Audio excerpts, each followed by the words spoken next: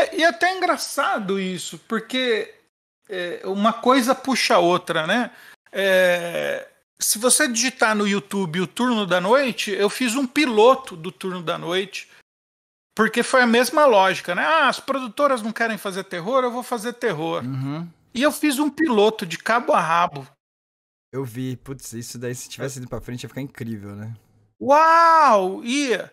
Mas aí eu fiquei analisando o que, que tá errado nesse piloto. Os atores são bons. A, a, a, a fotografia tá ótima. A direção tá razoável. Eu que tive que dirigir, né? É, tá, tem um conjunto assim que faz o set ser uma obra.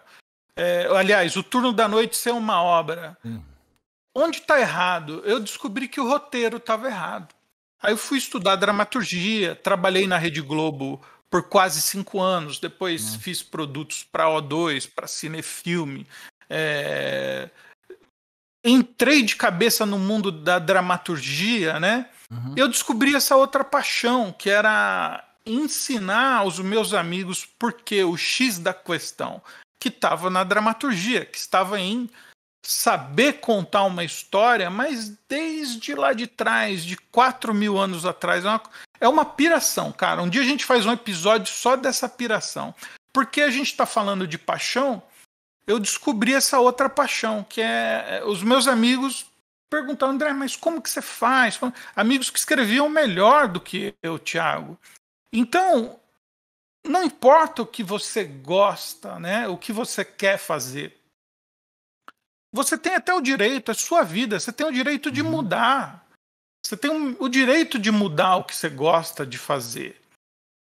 Agora, é, o que importa é fazer, né? Sim. Tipo, eu não sabia ser professor de dramaturgia, mas eu fui lá e fiz, né? Quem, quem quer entender mais sobre essa arte, esse ofício, é só entrar no meu Instagram, tem lá um, no meu link é, da bio, tem lá o Fale com o Vianco, que, que vai estar no WhatsApp comigo. É só colocar lá, André, eu sou escritor, sou escritora, quero entender mais dessa parada. Que eu vou te responder com o maior prazer. É,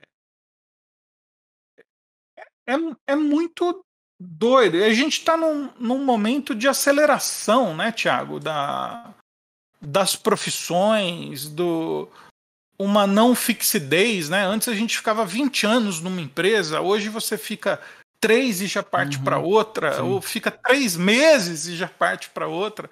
E isso é normal, normal. Você não, você não é obrigado a ficar onde você não quer, né? Agora você tem um, um compromisso contigo mesmo, né? Tipo, a evolução, sua evolução.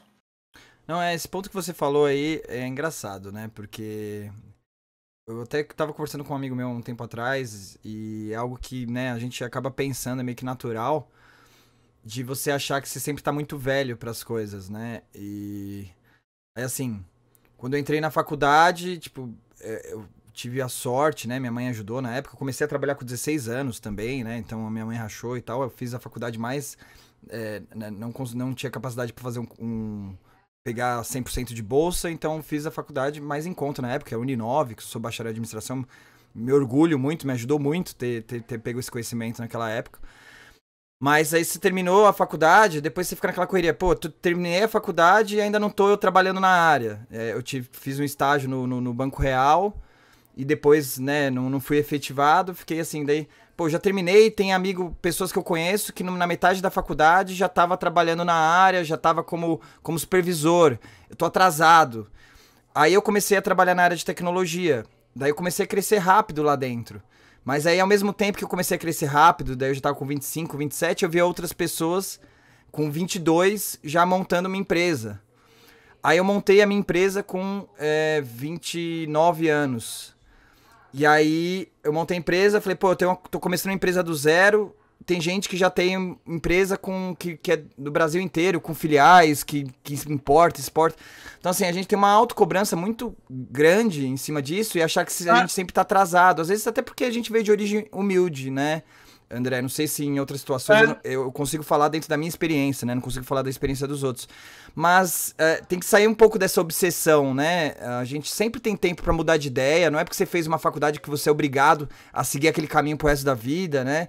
Então é isso que você tá falando, que depois você encontrou outras paixões e para quem tá ouvindo isso é muito importante, né? Sim, e digo mais, é, a gente tem uma cobrança assim imensa, né? E ninguém, ninguém é obrigado a ser milionário, né? É, isso é uma coisa que a gente uhum. coloca na cabeça. Sim, isso é do é, ethos norte-americano, coisa que vai mudando o tempo todo. É, aquela, o ethos norte-americano eu cito porque tinha é, lá atrás na Grécia antiga o ethos era Apolo e Dionísio. As coisas eram apolíneas ou dionisíacas, né? Era uhum. uma forma da sociedade se comportar. Olhava para esses dois deuses, né? E as coisas que eram da razão, da lógica, o corpo bem feito, o corpo que obedecia à razão, então era era incrível, era escultural, era apolíneo. Já Dionísio eram as coisas da terra, a paixão, as coisas erradas e fora do lugar e o corpo não não perfeito, né? E aí a gente vai para o ethos né? norte-americano, quando a gente pula anos e anos depois, é a máquina de moer CPF. Lá eles chamam de é, seguro social, né? É tipo, você tem que ser um vencedor. Se você não é um vencedor, você é um perdedor. Então, eu canso de ver e aconselhar autores novatos aqui que põem isso nos, nos livros. Ó, você é um vencedor, você é um perdedor e tal.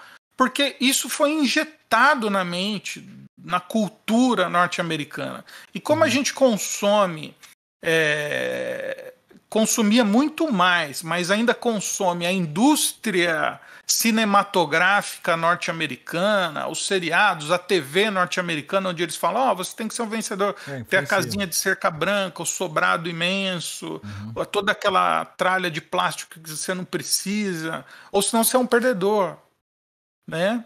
E, tipo, tá incutido no vencedor você ter muita grana. E, tipo, quem é bom, é ótimo, é, é, é natural e necessário ter dinheiro, uhum. mas você não precisa ficar se sentindo é, menor, inferior e pequeno, porque você não é milionário. Você tem pagando as suas contas já tá bom demais, cara.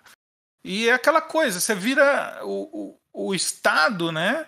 É uma máquina de processar CPFs. Ela não quer saber quem é o André, ela quer saber quanto eu paguei de imposto, que imposto eu vou pagar aqui, quando vai ele precisa que você esteja nessa dinâmica de mercado para você gerar dinheiro para o Estado. Sim. Se você gerar dinheiro para você, boa sorte, legal. é muito doido, é muito sim, doido. Sim. Não, mas é importante falar isso, né? Que é real, né? A gente às vezes compra um sonho que não, não necessariamente é nosso, né? De uma realidade completamente diferente, etc. Mas, André, show de bola. Vou dar só uma pausinha aqui pra gente ler um pouquinho as mensagens aí, que o pessoal tá mandando bastante mensagem. Obrigado a todo mundo que tá acompanhando aí. Manda os, diversos, os diversos fãs seus aí. Inclusive, minha irmã mandou uma mensagem aqui, ela tá acompanhando. Ela falou: Oi, André, sou sua fã mesmo. Vou mandar sim um recadinho lá no seu Instagram. Tá feliz da vida agora. Já não preciso mais dar presente de, de aniversário pra ela esse ano. é, teve muita gente que mandou mensagens legais. É. O pessoal da literatura online falou que conhece você aqui. Uh, deixa eu ver aqui o que eu lembro que ele explicou. Pergunta pro André, peraí. Quando você pergunta, Só pra constar, Flávia, nosso canal. Flávia Mendes, né, sua irmã? Ela tá perguntando. Não, é a Flávia Cabral, Instagram. tem a Flávia Mendes também. Flávia Cabral? É Flávia... Então vai pra Flávia Mendes. É, o meu Instagram é André Bianco, arroba André Bianco. Isso, Manda aí. Segue ele lá, segue ele lá. Aí o Literatura Online mandou bastante mensagem. Obrigado, Literatura Online. Ele falou aqui, ó, só para constar, nosso canal Literatura Online é dedicado às obras do autor Gustavo Ferreira, que conversa com André Bianco através do e-mail dele que vinha na capa do livro Os Sete. É, Verdade. É, ele Verdade. mandou, te elogiou pra caramba aqui também. Ele falou que essa questão aí da determinação sua é questão de resiliência, eu concordo perfeitamente, né? Você teve que ser muito resiliente, né, para ouvir o não ali, continuar se dedicando e tal. É... Cibele colocou ó, o 7, o primeiro livro que eu li aos 15 anos. Lembro que peguei emprestado na biblioteca pública da cidade, depois comecei a comprar os livros e colecionar. É, mas foi mais ou menos a minha história aí, Sibeli. Legal pra caramba. É, e livros é, por Dan Castilhos. É, Dartana vai ter continuação? Ele perguntou aqui.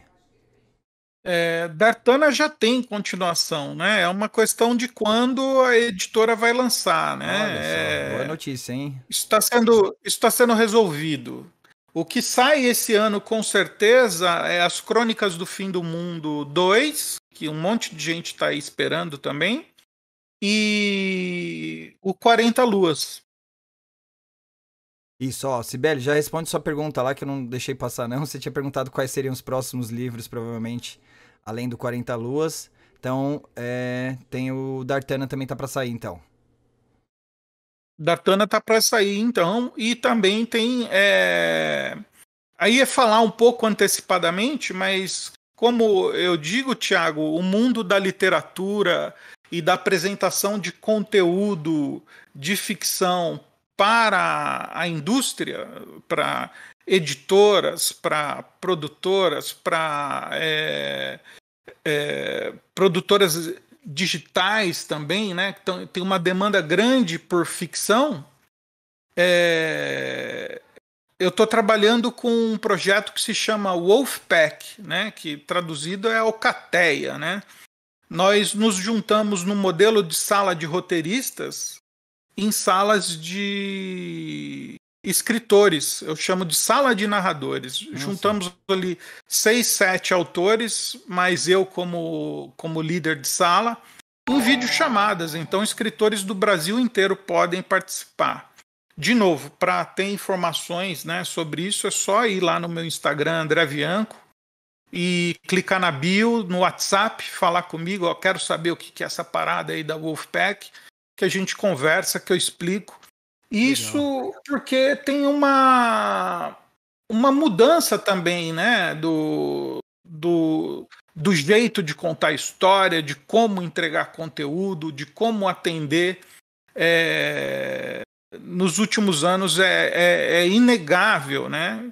E me antecipando a isso, eu tô, tô fazendo esse movimento que é muito interessante, tem sido assim resultado resultado em produtos assim é, de cair o queixo assim eu tenho tô ficando assim maluco com o que a gente está fazendo. Então é, é, muito promissor é um projeto que é maravilhoso o Wolfpack. O que fazer com isso né? Então essa mistura do, do terror com o melodrama resultou nesse escritor Penny Dreadful que eu sou, né? Que é conseguir carregar o escritor da página 1 à página 500 sempre. O leitor quer saber o que vai acontecer na próxima página.